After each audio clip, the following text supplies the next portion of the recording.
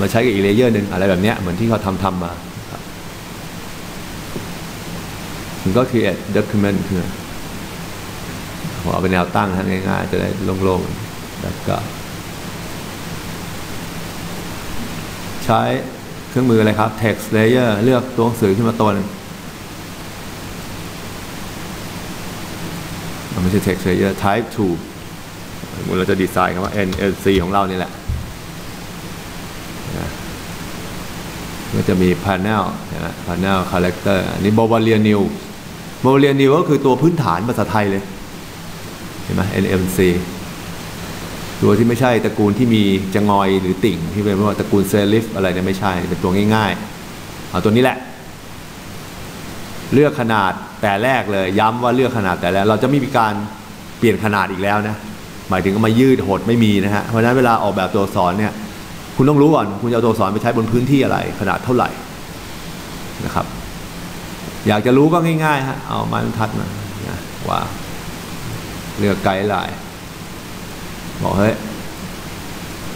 อันนี้มีหน่วยเป็นอะไร เราก็ preset เห็นไหม presetโอ้ไม่ต้องบอกนะครับว่า preset เนี่ยเพราะว่าเรียนกันมาทำกันมาจนน่าเบื่อแล้วตั้งแต่เริ่มทำการ์ดตั้งแต่อาทิตย์แรกเลยนะตำแหน่งเดียวหมด เราก็บอกว่าเอาละนี่มันกระดาษขนาด A4 นะเฟ้ย มีหน่วยเป็นเซนติเมตรนะฮะประมาณ 19 คูณ 24 เราอยากได้ตัวอักษรตัวใหญ่เลยที่เป็นปก คุณก็พิมพ์เข้าไป บอกให้ตัวอักษรช่วยสามร้อยจุดดิสามร้อย point นี่เห็นไหมตอนนี้ตัวอักษรมันมีฐานะเป็นอะไร เป็นฟอนต์คอมพิวเตอร์อยู่ เป็นฟอนต์คอมพิวเตอร์นะฮะ ไม่ใช่ฟอนต์ที่เราจะ create นะ ยังไม่ใช่ คือฟอนต์ที่การออกแบบตัวอักษรเนี่ยมีอยู่แค่สองทางเท่านั้นนะที่จะนำวัตถุดิบเข้ามาในเครื่องคอมพิวเตอร์คือพิมพ์ในคอมพิวเตอร์แล้วดัดแปลงกับทำเป็นภาพถ่ายเห็นไหมจากภายนอก ถ้าเป็น AI โปรแกรม Illustrator ก็ไปสั่ง tracing ใช่ไหมฮะแต่เป็นอันนี้ก็เดี๋ยวไปสั่ง t e s t show ซึ่งภาพถ่ายเนี่ยผมก็ทำเตรียมมาให้คุณแล้ว ส่งไปให้แล้ว มันมีแค่นี้แหละมนุษย์เราอะที่จะได้ตัวอักษรขึ้นมาที่ใช้ในงานออกแบบ คือสร้างโดยใช้มือเองอะเอาจากคอมพิวเตอร์บางคนบอกอาจารย์ไม่จริงอะเอาคือบางทีสร้างจากภายนอก คุณไม่ต้องใช้ผู้กันหรือดินสอนะ คุณเอาก้อนหินมาเรียงกัน แล้วถ่ายรูปก็ได้นะ หรือเอาส้นตีนคุณเนี่ยไปเหยียบหมึกแล้วย่ำไปบนพื้นสีขาวก็ได้อีก มันมีวิธีอยู่แค่นี้คือสร้างจากภายนอกคือสร้างด้วยอวัยวะอะไรก็ได้ของมนุษย์ หรือคุณบอกว่าจะเอาผีเสื้อมาเรียงกันเป็นคำว่า NMC ได้มันก็ได้ฮะก็ทำได้หมดแหละ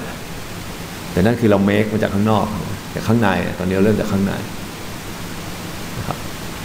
ตัวหนังสืออยากได้สีอะไรก็จัดเลยผมเอาสีง่ายๆ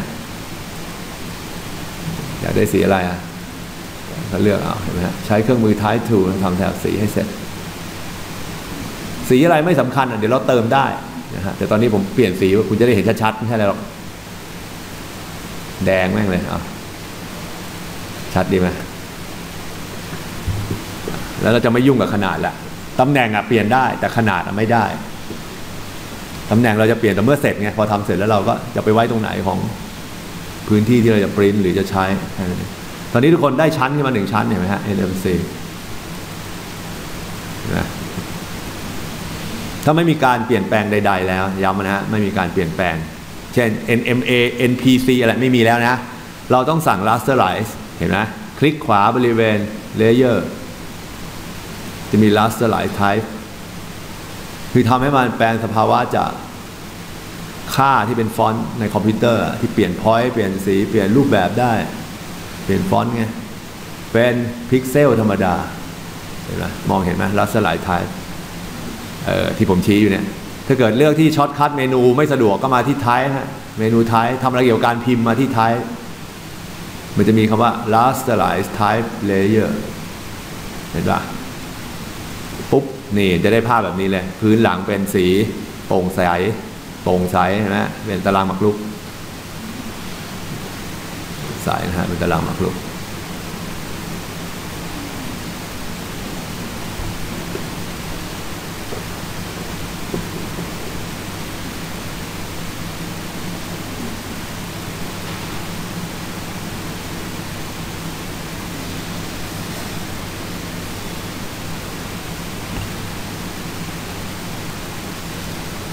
อ่าอย่างแรกที่ทำคือเราทำ selection ให้มัน control คลิกเห็นไหมจะได้ selection ของ pixel นี้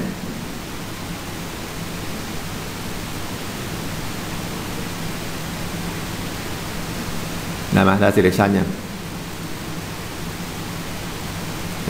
new layer ขึ้นมา ถูกไหมฮะ แล้ว layer เนี้ยเราก็ใช้ selection ของ NMC ตัวนี้ มาคลิกให้มัน active ที่ layer นี้นะครับ เราสั่ง select expand ในเมนู select นะจะมีคำว่า modify เห็นไหมอ่า expand expand คือขยายขึ้น กี่พิกเซล ผมเอา 20 20 พิกเซลนะมันจะได้ selection ที่ขยายออก เห็นไหมฮะ ไม่พออีก อยากได้อีก select modify expand อีกอีก20ก็ได้นี่จะได้แบบนี้นะ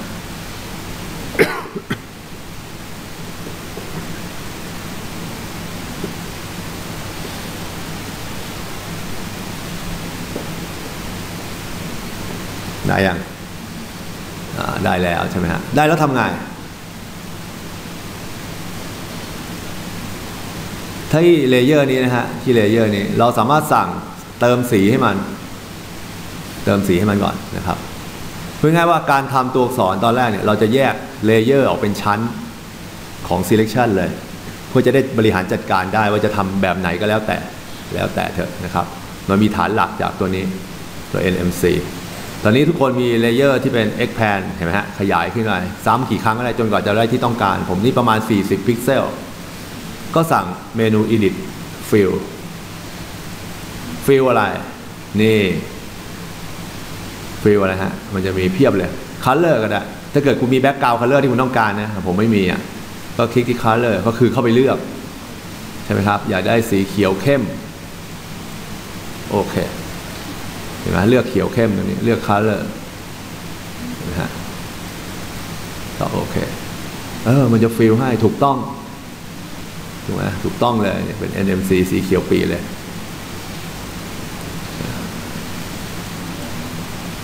ไม่ทันตรงไหน ดูนะฮะ เราจะสั่ง contact selection ก็คือเราโหลด selection จาก NMC ขึ้นมา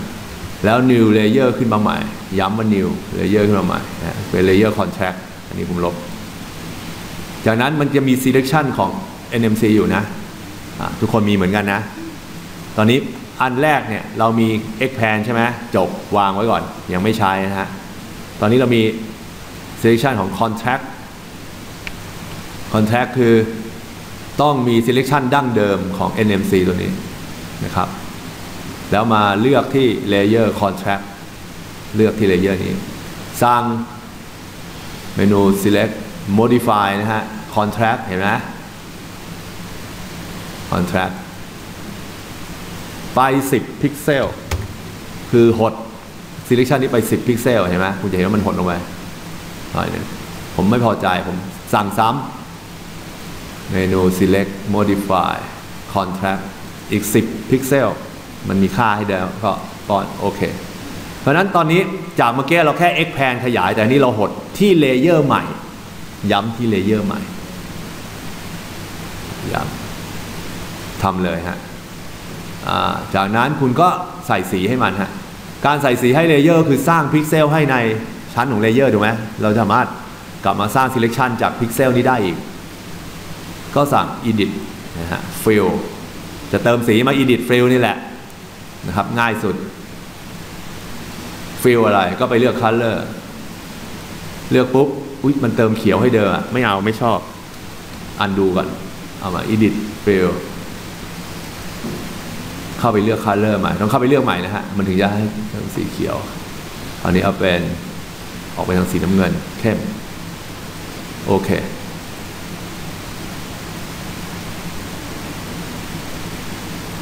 เห็ นไหมคุณจะมี layer แบบนี้เอาละทีนี้ยกเลิกการเลือกนะถ้าเกิดคุณเปิดตาตัวนี้แล้วเรียงนะฮะเรียงมันใหม่เนี่ยคุณจะได้แบบนี้ เห็นไหมจะได้ชั้นของตัวหนังสือแบบนี้ เหมือนกับการทำ offset path ใน AI คือการ expand ออกไปแล้ว contract เข้ามา จะมีสามสามส่วนละ ตอนนี้ทุกคนมี layer สาม layer ถูกไหมอันหนาสุดอยู่ข้างล่าง อันผอมอยู่ตรงกลาง อันเล็กสุดอยู่ข้างบน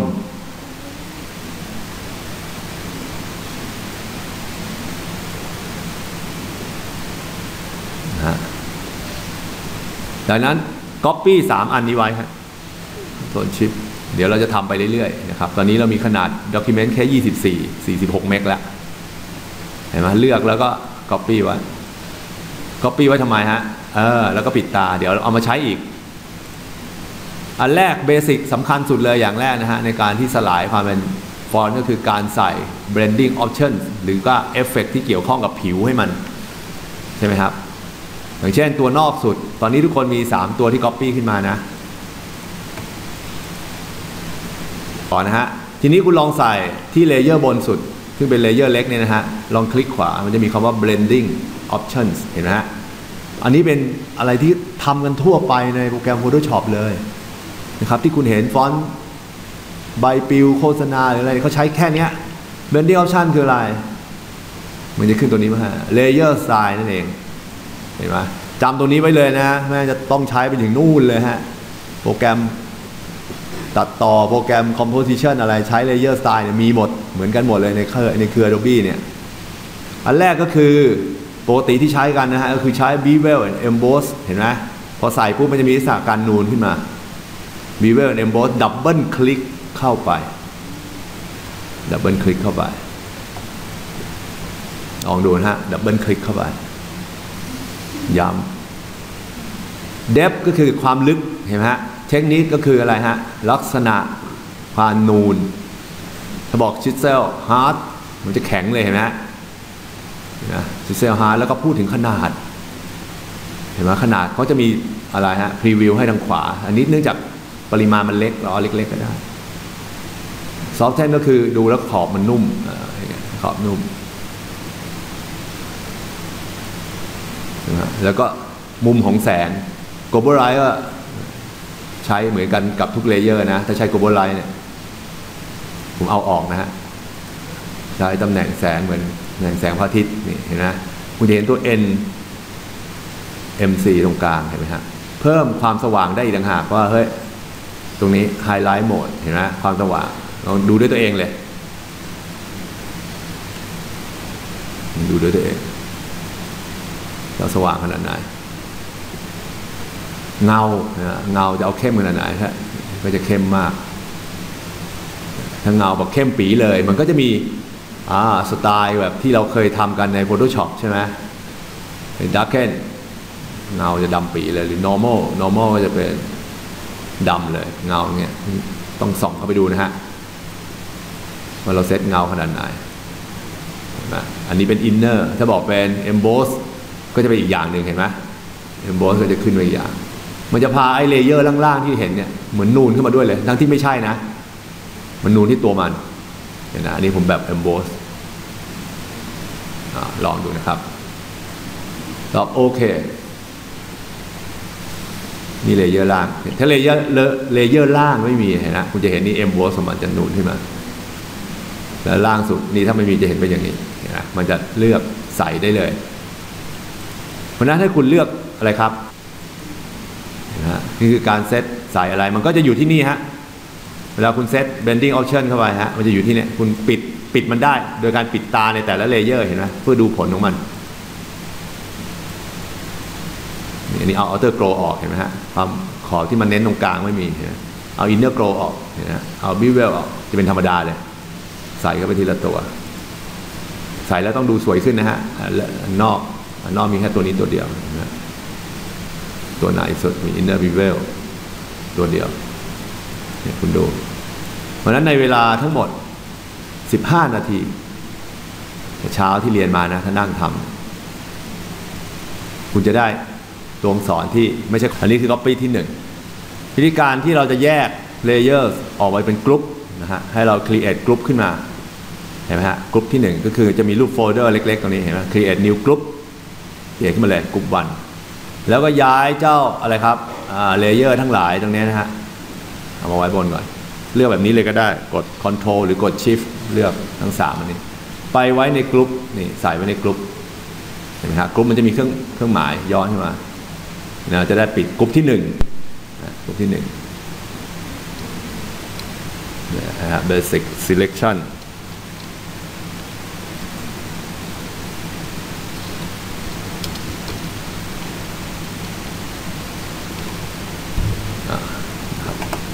มีกลุ่มที่หนึ่งปิดตาปุ๊บไม่เห็นทั้งกลุ่ม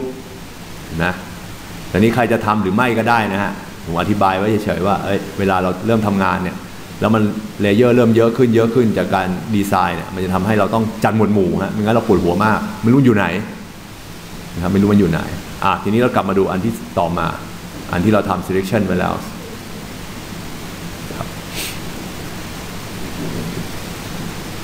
selection ต่อมานะฮะที่เราจะ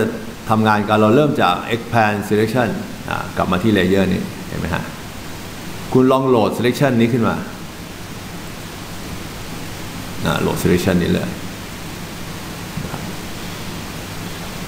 แล้วสั่ง new layer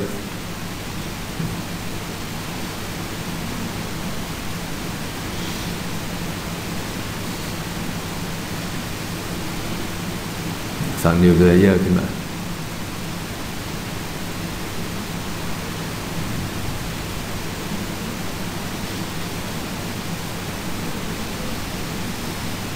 ได้นะในเลเยอร์เนี้ยนะฮะ new layer เนี่ยให้คุณสามารถสั่งได้2 action นะครับ2 action ของ selection คือ 1 สั่ง select modify บอก expand ขึ้นมาก่อน 20 พิกเซล โอเค เห็นไหม expand ขึ้นมา 20 พิกเซล พอ expand ขึ้นมาปุ๊บเรารู้ขอบเขตของมันแล้วว่าเอ้ย 20 พิกเซลนี้เป็นนี้นะ เห็นไหมนั้น select ที่ 1 คือ expand 20 พิกเซลจากนั้นสั่งตัวต่อมาฮะ select modify border border คือทำให้มันเป็นเส้นขอบ นี่ border กว้างเท่าไหร่ ผมใช้ border กว้าง 10 20 พิกเซลเลย selection มันจะมีสคำสั่ง border ขึ้นมาเห็นไหมคุณก็ดูว่ามันให้ผลยังไงเห็นไหมฮะมันจะให้ผลว่าเฮ้ยอ๋อที่แท้ ตอนนี้ selection มันเป็น border 20 แล้วเห็นไหมเป็น border 20 แล้วอพอเป็น border ปุ๊บทำให้มันมองเห็นด้วยการ fill เห็นไหม fill color ลงไป สีอะไร สีเขียวตรงข้ามกับสีแดง แดงไม่จัดมาแดงส้มต่อโอเคเห็นไหมฮะนี่คุณจะได้เส้นนี้ขึ้นมาฟิลปุ๊บ รู้สึกสีมันจางอะสั่ง fill ซ้ำได้อีก edit fill color เดิมเลยฮะ เห็นฮะมันจะเข้มขึ้น มันจะเข้มขึ้นเนื่องจากธรรมชาติของ selection เนี่ย มันจะไม่ใช่แบบเวกเตอร์กราฟิกไง ที่เป็นสีโป๊ะลงไปเลย แต่มันจะมีขอบที่เป็นอ่า alias ที่มันเป็นเหมือนกับการ fade ของสีเป็นพิกเซลเนี่ยผมสั่ง edit fill ไว้สามครั้งนะให้สีมันเข้มเข้มจริง ๆ เลยเรารู้แล้วอ๋อตรงนี้นะ LC ตัวเนี้ยเป็น border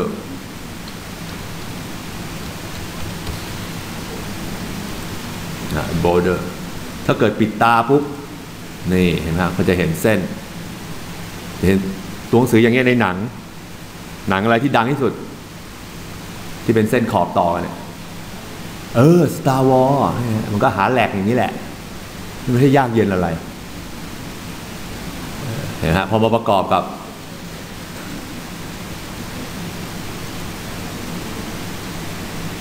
มันก็จะมีสีขาวเว้นเห็นไหมฮะนี่คือ selection ของมัน จากนั้นเพื่อทำให้ selection ของมันเป็นอะไรครับ เป็นการสไตล์ของเส้นขอบโดยแท้จริง คือขอบแล้วขอบอีก เราก็ใช้วิธีนี้ฮะ delete selection อ่าตอนนี้คุณได้เส้นขอบไปยังอ่าผมจะหยุดก่อน ตรงไหนรู้ไหมอย่างเช่น NNC เนี่ยไม่อยากให้มีตรงนี้ copy ก่อนนะฮะเป็นตัวอย่างให้ดู อธิบายให้ดูเป็นตัวอย่าง ไม่อยากให้มีนี้ ก็เอาเครื่องมือยังลบนี่แหละฮะ ยังลบสุดที่รักของเราเนี่ยใช่ไหมไม่อยากให้มีตรงนี้ลบ ลบลบลบนี่เท่เลยเห็นไหมเออ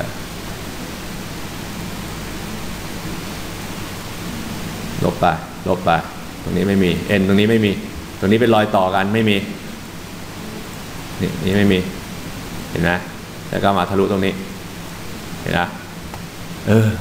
ดูดีมีชาติตระกูลขึ้นมาอีก แค่ยังลบนะฮะ อ่านะอันนี้อธิบายให้ฟังลบก่อน ตอนนี้คุณมีตัวนี้อยู่แล้วถูกไหมฮะ กับมีตัวนี้ใช่ไหม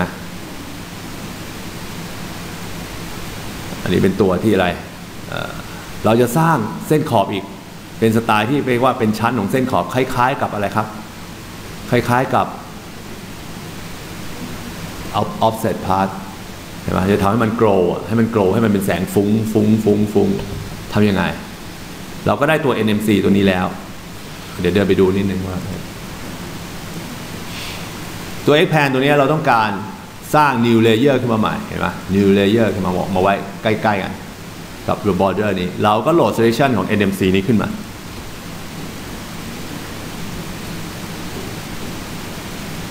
เห็นไหม selection ของ NMC นี้ขึ้นมา เราสั่งมัน contract เนี่ย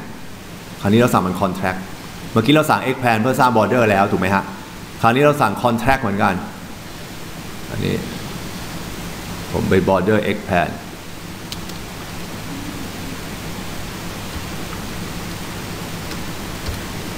อันนี้เป็น border contract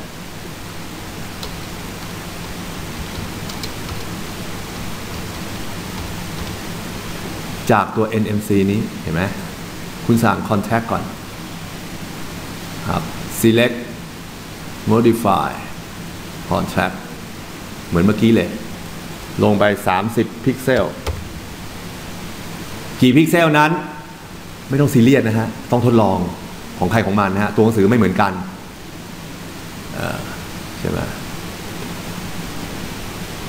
ตัวหนังสือไม่เหมือนกัน สังเกตนิดนึงนะฮะ เราจะสร้าง border ครั้งนี้เราไม่สั่ง border แต่เรา contract ฟีสีที่ fill ใน border มันจะฟุ้งๆนะฮะเป็นธรรมชาติ แต่สีตรงเนี้ยเราจะไม่เอาฟุ้ง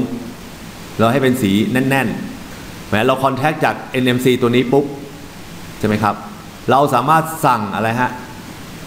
สั่งอะไรเลย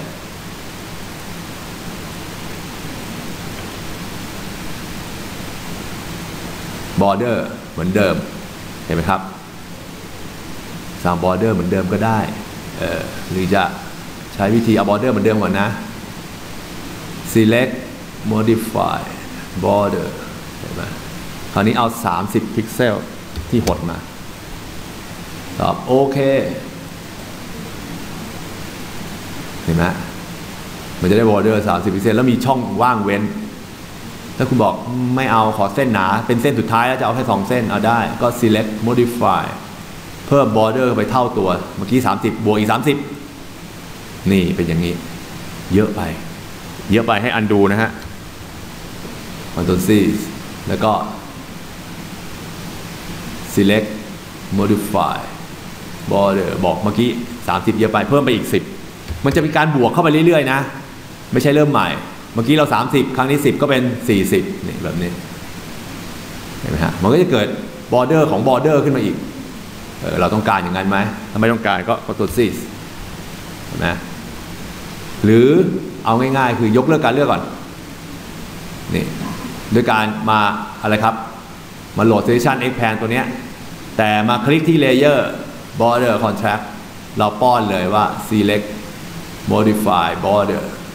40 เลยเรารู้ค่าแล้ว เมื่อกี้เราทดลองแล้ว เราได้ค่า40นะโอ้ยตายขอโทษ ลืม contract contract เข้ามาก่อน select contract เข้ามา 40 และให้ทำเป็น border select modify border 40 เหมือนกันน่าเนี่ยได้ฟอร์มอย่างที่ต้องการเลยเห็นไหมพอได้ฟอนต์แบบที่ต้องการทำไงฮะ fill ฮะ edit fill เพราะฉะนั้นการทำ border ไม่ยากคุณทำได้ตัวหนึ่งคราวนี้ก็แค่ contract มันเข้ามา หาพิกเซลของ contract ที่เหมาะสมของฟอนต์ตัวเองนะจะเห็นว่าผมเริ่มจากให้คุณ expand เพื่อให้ตัวหนังสือมันมีพื้นที่ขยายเอาไปก่อน เราสามารถเล่นได้เยอะถ้าตัวหนังสือมีใครเลือกตัวหนังสือที่มีขาเล็กๆเหมือนขาไก่ อันนี้จะลำบากถ้าไม่ expand นะฮะจะเล่นมุกนี้ไม่ได้ที่ทำเป็นเส้นไม่ได้นะครับเลือก color เติมสีไปสีส้มตรงข้ามกับ หรืออยู่ในกรุ๊ปเดียวกันมาสีฟ้าอ่อน โอเค เห็นไหมฮะ fill ครั้งที่สอง edit fill มาเลยนี่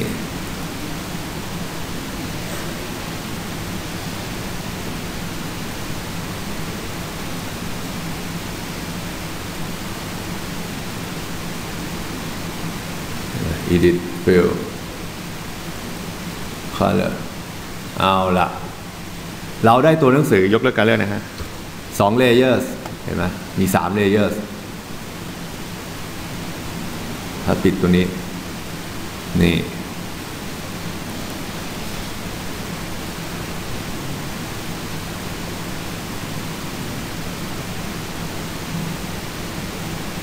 เดี๋ยวเราจะใส่เอฟเฟกให้มัน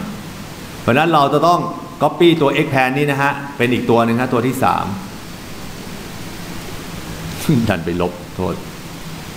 ตัวที่สามนี้เราย้ายขึ้นมาข้างบนฮะ เป็น background ของตัวนี้ โอ้ย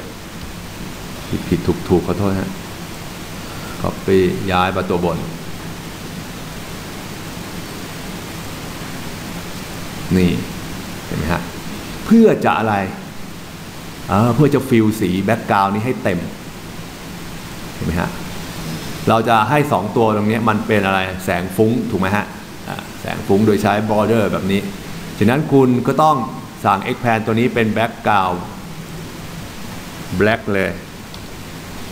คือเติมสีเข้มให้มัน ใช่ไหม black bg ทำยังไงจะจะให้สีเข้มก็ง่ายมากฮะ คุณก็แค่โหลด selection นะฮะ แล้ว expand ให้มันทำไมฮะ ให้มันครอบคลุมตัวเออ NMC นี่ทั้งหมดก็ไป select modify expand เห็นไหม expand 20 ใช่ป่ะไม่รู้ เออ ใช่ใช่20 ใช่ undo ถามว่าทำไมต้อง undo 20มันใช่จริงอะแต่เราต้องการให้สีดำมันฟุ้งออกมาข้างนอก ฉะนั้นต้องอีกเท่าตัวหนึ่งใช่ไหมก็ select modify expand เห็นไหมบอกเฮ้ยสี่สิบนี่พอดีเลยคือถามว่าจังครับ selection นี่มันไม่สามารถดึงแบบให้มันยืด มีแบบ handle อะไรแบบเหมือน object ของ AI เหรอทำได้ปะ ทำได้ฮะดูนะฮะ เมื่อคุณมี selection แล้วคุณสามารถเลือก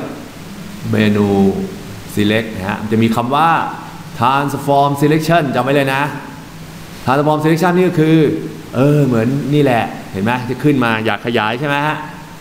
ที่เลเยอร์ที่ถูกต้องนะฮะ อยากขยายก็ขยายแบบสองแบบคือถ้าชิปก็จะขยายแบบอะไรสมมาตรเห็นไหมแต่มันไม่ตรงกับตัว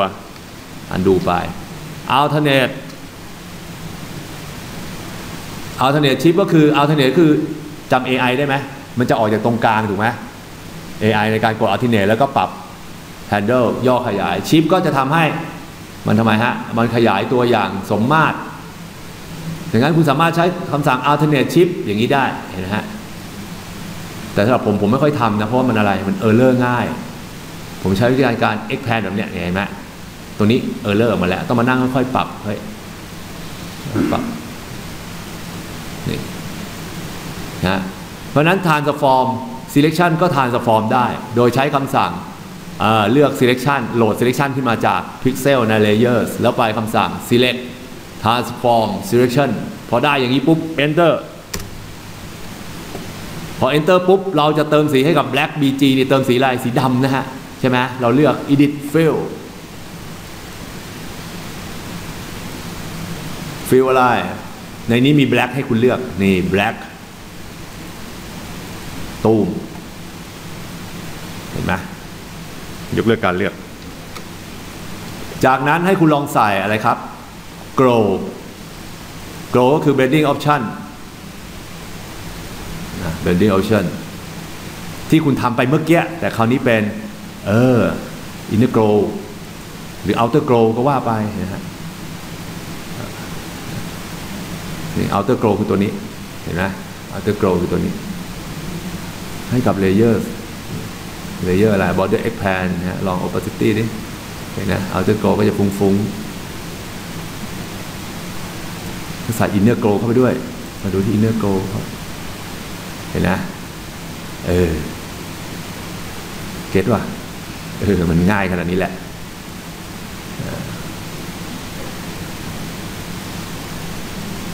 จะทำประกมประกายแล้วก็เอาแอร์บัตทำได้เลยนะฮะเนี่ยสองตัวเนี่ยเห็นไหมอันนี้เป็นตัวแบบไม่มี blending แล้วไม่มี blending โอเค ตัวสีดำอะมี glow ได้ไหมมีได้นะฮะ เห็นไหมฮะ เช่นคุณสามารถอ่าอะไรครับ Copy ฮะ Copy ได้นะ คือทุก layer เนี่ยมันจะมีคำว่า Copy Layer Style เห็นไหม คุณไม่ต้องไปนั่งใส่ทุกอันถ้าทุกเลเยอร์เหมือนกันจะมี Copy Layer Style มา Copy ปุ๊บ มาใส่ที่ตัวนี้ก็ได้บอก Body Contact บอก Paste เห็นไหม Layer Style ประเด็นมีแค่นี้ว่า Layer Style ที่ใส่ในแต่ละอัน เวลาดับเบิลคลิกไปแล้วเจอ Blending Option เสร็จ เราสามารถ Copy แล้วมา Paste ยังอีก layer หนึ่งได้เห็นไหมแล้วค่อยไปเข้าไปปรับบอกเฮ้ยมากไปน้อยไป ไม่ต้องมานั่ง เข้าไปปรับคือ double click เข้าไปที่ layer นะฮะบอกเอออันนี้เยอะไปเส้นแบบบอก inner grow อันนี้เยอะไป ก็ลด opacity ลง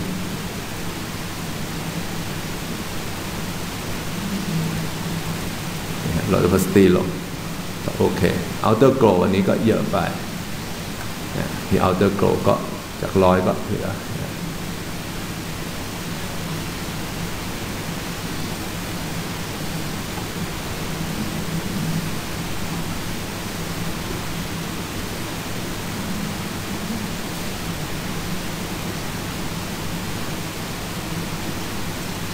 ตัว NMC ตัวหลัง ตัวหลัง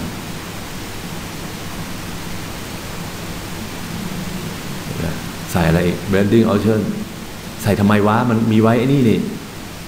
นะมีไว้ นี่มันสามารถมาที่คำสั่งนี้ได้ฮะคำสั่งที่เรียกว่า gradient overlay เห็นไหม gradient overlay ก็คือใส่ gradient fill ให้กับตัว เออ ตัวเนื้อหาของมันเนี่ย gradient เป็นแบบ linear หรือเป็นแบบ radial หรือเป็นแบบ reflect นี่เห็นไหมก็เลือกสีฮะเนี่ยอันนี้เป็นสีขาวเลย คุณก็บอกว่าเฮ้ยไม่เอานะขาวเนี่ย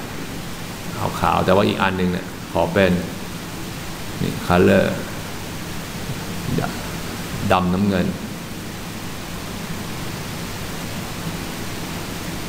นะเลือนนะนี่นะ เออเห็นไหมมันก็จะเป็น reflect ตรงกลาง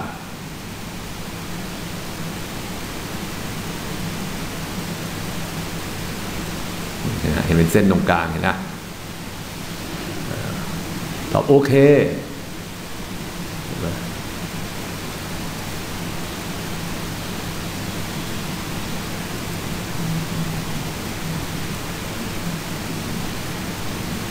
จบสำหรับ